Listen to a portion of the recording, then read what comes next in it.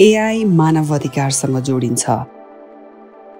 सार्वजनिक जीवनमा सहभागी हुन पाउने हरेक व्यक्तिको अधिकार छ। यो आधारभूत अधिकारको रक्षा गर्नमा एआईको भूमिका रहन्छ।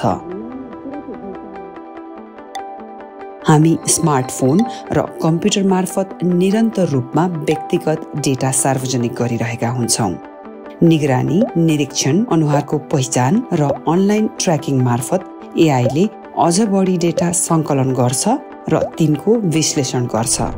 यसको अर्थ डेटाको सुरक्षा गर्नुपर्ने हुन्छ र गोपनीयताको सुनिश्चितता गर्दै नैतिकवान भएर प्रयोग गर्नुपर्ने हुन्छ। हाम्रो वास्तविक जीवनमा रहेको भेदभाव र सीमान्तीकरण एआईले पनि प्राय देखाइरहेको हुन्छ।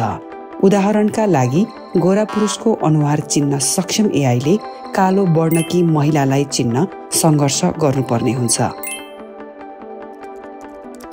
यस्ता असमानतासँग जुझ्नका लागि हामीले एआईमा मानव पूर्वाग्रहलाई हटाउनु पर्ने हुन्छ र मानव अधिकारमा आधारित एआईका लागि विश्वव्यापी मूल्य मान्यतामा काम गर्नुपर्छ। एआई र खुलापनबारे हाम्रो अर्को श्रृङ्खला नछुटाउनुहोला।